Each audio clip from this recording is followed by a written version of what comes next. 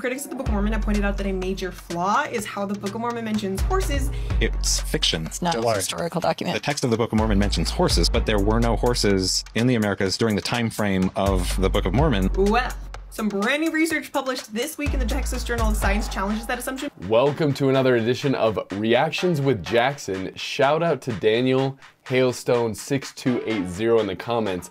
I asked last video if you guys had a better name for the series to go ahead and leave it in the comments and Homeboy came through. We'll go with ja Reactions with Jackson's for this video. After reading all those comments, I realized that there's a lot better name choices and so I'm probably gonna change the name every episode. So leave an option in the comments and I'll choose the best one and give you a shout out. The video in question today is a product of a very long conversation I had with one of you. One of our viewers reached out to me and uh, we hopped on a phone call for a while and a majority of that phone call was spent talking about horses. Horses, horses, horses, horses, horses, horses. And I don't mean any disrespect to the viewer that this conversation was had with. It just, after listening to that conversation and how much that that was an issue, I'm like, bro, we gotta, we gotta settle this or see how much we can settle this. So I went on the good old Chinese spyware of TikTok using a VPN, of course. Shout out to the terms and conditions and uh, let's get right into it. For a long time, critics of the Book of Mormon have pointed out that a major flaw is how the Book of Mormon mentions horses, even though horses were extinct in Book of Mormon times and didn't get reintroduced into the Americas until Columbus. Well, some well. brand new research published this week in the Texas Journal of Science challenges that assumption because a team of researchers in Mexico. Wait, this week. This was posted in October October 18th of 2022. So discovered horse bones that date to Book of Mormon times. These horse remains were excavated from a site near Cedral, San Luis Potosi in Mexico. Heartlanders, chill out for a second, all right? Maybe they're digging more in Mexico. And to figure out when these horse bones dated to, the researchers obtained radiocarbon data. Equus cabaz. What does equus mean? Let's see. Uh, a genus, a family, equidon. Oh, basically is the scientific name for horse. I'm silly. Each archaeological layer or strata from charcoal and other organic material close to the horse. And now you've got to see just how perfectly these dates line up with the Book of Mormon. The Book of Mormon mentions horses only a handful of times, and we have radiocarbon dates that may attest to horses in all of these. So let's see real quick. The first time chronologically that it mentions horses in the Book of Mormon is obviously in Ether, but when Nephi and his boys show up, it says in uh, 1 Nephi 18 25, he says, that there was beasts in the forest of every kind, both the cow and the ox and the ass, and the Hayden, stop editing it out. It's a donkey. And the horse and the goat and the wild goat. Good they made the distinction of the goats there. But that's the first time, I guess, in the narrative that it mentions horses. Periods. Two of the radiocarbon dates found near the horse remains came from the mid-second millennium BC, which is about when the Jaredites mention horses in Ether chapter 9.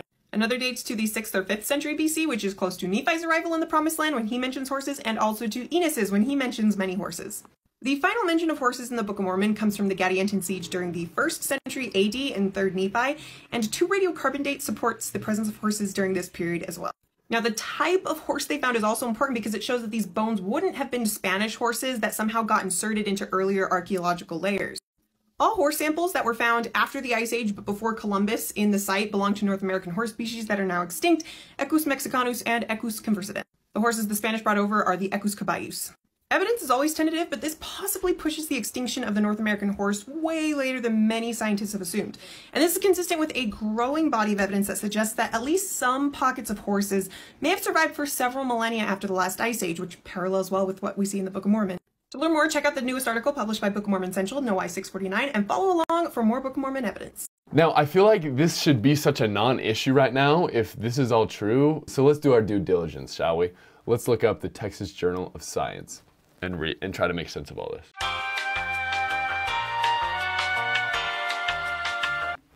All right, so I'll be honest, my smarts is defined, I, I think, a little bit more by street smarts. Uh, I haven't read too many science journals in my day, so we use the help of Google a lot to understand this. And some important things to note. The guy that did this research and study, uh, the main dude, his name is Wade Miller. And I think it is important to note that he is uh, a previous professor of the Department of Geological Sciences at BYU. But this is the Texas Journal of Science, so it is a very reputable source. So some specific highlights that I want to share from the article. I guess when you're carbon radiocarbon dating bones, you use the collagen that is left somehow inside the bones. I don't know, I'm gonna sound so stupid making this video.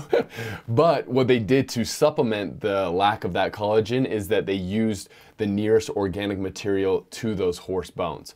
Um, and so it says, we completely agree with statements that an assessed charcoal sample, so they used charcoal that was right next to the bones, recovered adjacent to a skeletal element does not necessarily create a precise age for the vertebrate specimen. However, some radiocarbon dated charcoal samples were recovered from within millimeters of horse bones, equus bones, but means horse. And then in the conclusion, it says the remains of horses that we recovered from the dig site RC from multiple stratigraphic layers, all with associated radiocarbon dates, all in a fair stratigraphic continuum, these are some big words for me, and showing no mixing between geological units imply that horses may have persisted in this region of Mexico well after the classical late Pleistocene extinction time, basically the generally accepted time in which horses went extinct in the Americas. And it continues on saying, we suggest that researchers view our data set as well as others as a developing hypothesis which is testable rather than just avoided. So kind of what I've seen, and shout out to you guys that have seen like Ancient Apocalypse on Netflix with Graham Hancock and some of these other people that are trying to expose the, the academic community for being so stuck in their ways with discoveries that have been made in the past that anything that is found outside of that paradigm just needs to be ignored. It seems like that that has been a theme with horses and the extinction thereof in the North American continent.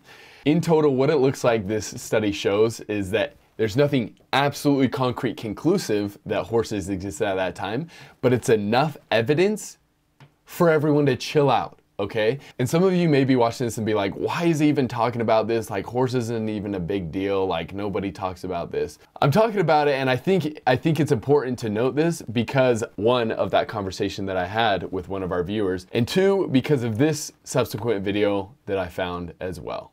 It's fiction. It's not a historical document. The text of the Book of Mormon mentions horses, which it does, but there were no horses in the Americas during the time frame of the Book of Mormon because the Spaniards brought them over yeah, they in had, the 1500, 14, 1500s. They had existed in the Americas before the, the, Book of Mormon times, long Pleistocene time, exactly, era, long like time ago, Ice Age stuff, and were ex extinct, right. right. And so there were no horses, and then Joseph Smith's environment included horses in the Americas, and so he writes it into the text of the Book of Mormon. He doesn't know any better. So this is just one of many videos that I've seen in regards to this topic, and clearly from the conversation that I had the other day, that this is a pillar that people still stand on that are critical towards the Book of Mormon that point to you and be like, you were so silly for believing the Book of Mormon because clearly horses didn't exist at the time period in which the Book of Mormon states they did.